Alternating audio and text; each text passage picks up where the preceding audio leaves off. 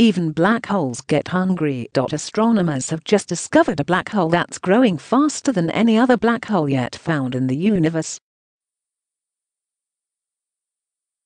If the Sun were to fall into this incredibly dense cosmic object, it would only take two days for the black hole to devour it, the scientists behind the new discovery have said.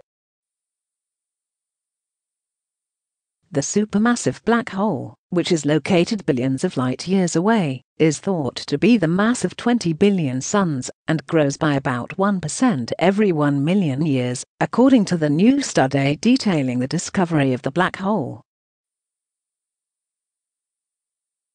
This black hole is growing so rapidly that it's shining thousands of times more brightly than an entire galaxy, due to all of the gases it sucks in daily that cause lots of friction and heat. Astronomer Christian Wolf, lead author of the new study, said in a statement. If we had this monster sitting at the center of our Milky Way galaxy, it would appear 10 times brighter than a full moon. It would appear as an incredibly bright pinpoint star that would almost wash out all of the stars in the sky.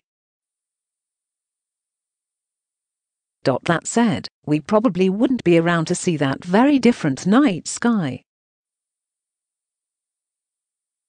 If this shining, feeding black hole, also called a quasar, were at the center of our Milky Way, it would likely make Earth uninhabitable due to the X-rays emitted by it, Wolf added in the Australian National University statement. These large and rapidly growing black holes are exceedingly rare, and we have been searching for them with SkyMapper for several months now, Wolf added.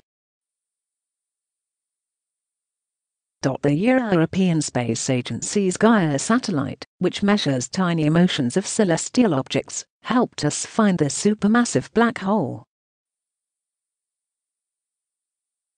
Now scientists are on the hunt for another black hole that might beat out this black hole's appetite and give them a glimpse into the inner workings of the universe only a few billion years after it formed.